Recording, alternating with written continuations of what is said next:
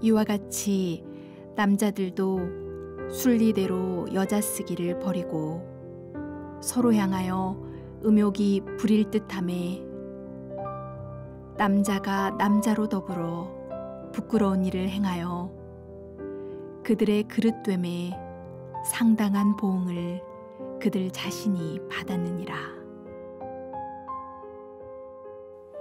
사람은 하나님이 주신 좋은 선물을 망치는데 선수입니다.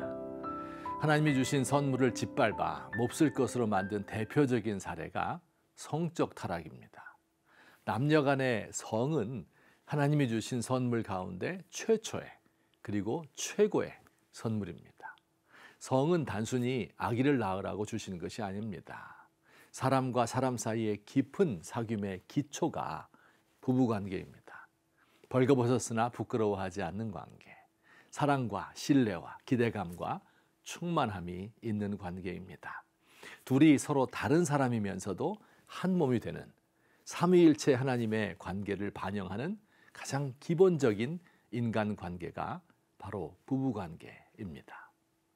그런데 사람은 하나님의 가장 좋은 선물을 가장 이상하게 바꾸었습니다. 왜곡된 성관계 가운데 동성애가 있습니다. 오늘 본문에 따르면 동성애는 자연의 이치를 거스르는 것으로서 부끄러운 행위라고 말합니다.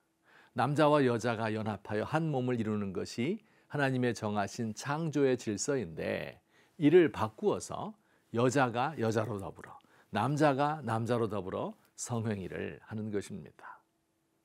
동성애는 어제 오늘의 일이 아닙니다. 성경에도 아브라함 시대 소돔과 고모라가 멸망할 때 또는 어두운 사사 시대에 동성애가 그 사회에 만연하였습니다. 고대 그리스의 철학자들이 젊은이들을 모아 제자를 키울 때 낮에는 철학을 가르치고 밤에는 함께 잠을 자곤 하였답니다.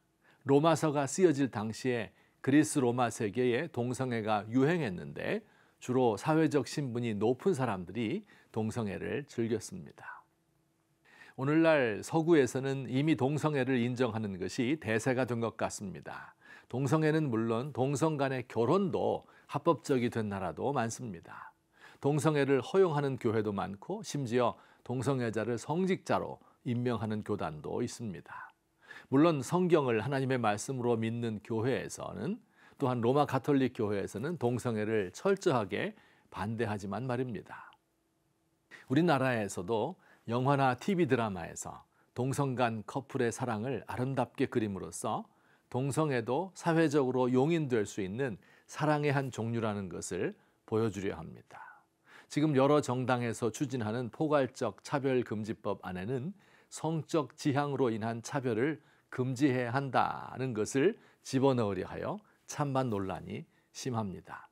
동성애자를 차별하여 고용에서 불이익을 주거나 동성애는 잘못이라고 학교에서 가르치면 안 된다는 법입니다.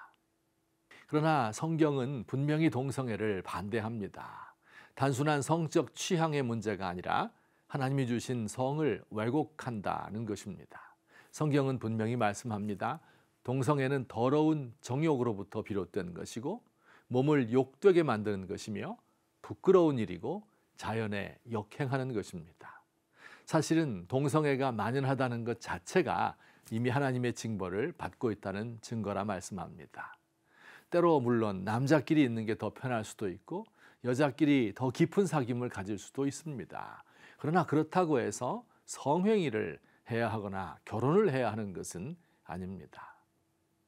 그러면 우리는 어떻게 해야 할까요?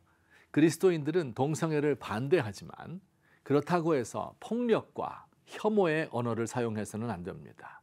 우리 사회 많은 사람들은 성경을 모르는 비기독교인이기 때문에 성경에서 동성애를 금지한다고 아무리 말해도 설득되지 않을 것입니다.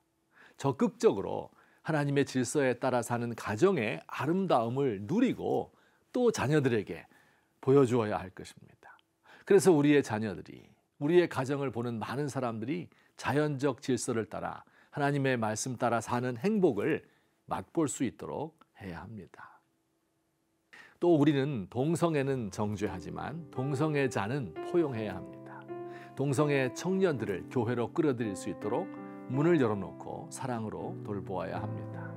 동성애는 정죄하지만 동성애자는 사랑하는 것이 결코 쉬운 일이 아닐 것입니다. 그러나 우리 예수님께서 지금 이 땅에 계셨다면 어떻게 하실까 생각하면 해답이 보입니다.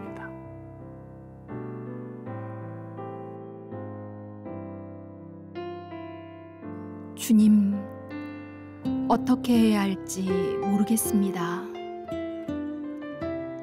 분명히 세상이 잘못된 것이고 성경이 옳은데 한국 교회가 신뢰를 잃었기 때문에 세상이 우리의 말을 듣지 않습니다. 우리 예수님으로부터 배우고 싶습니다. 세리와 죄인들을 정죄하고 판단하는 게 아니라 그들과 함께하고 포용하며 자신을 희생함으로 돕고 싶습니다.